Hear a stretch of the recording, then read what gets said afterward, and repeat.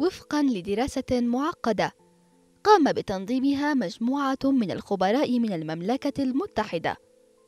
تبين بأن فرص تطوير الإصابة بأمراض القلب بين الأشخاص الذين يتبعون حمية نباتية كانت أقل بنسبة 33% مقارنة مع الأشخاص الذين يتناولون اللحوم.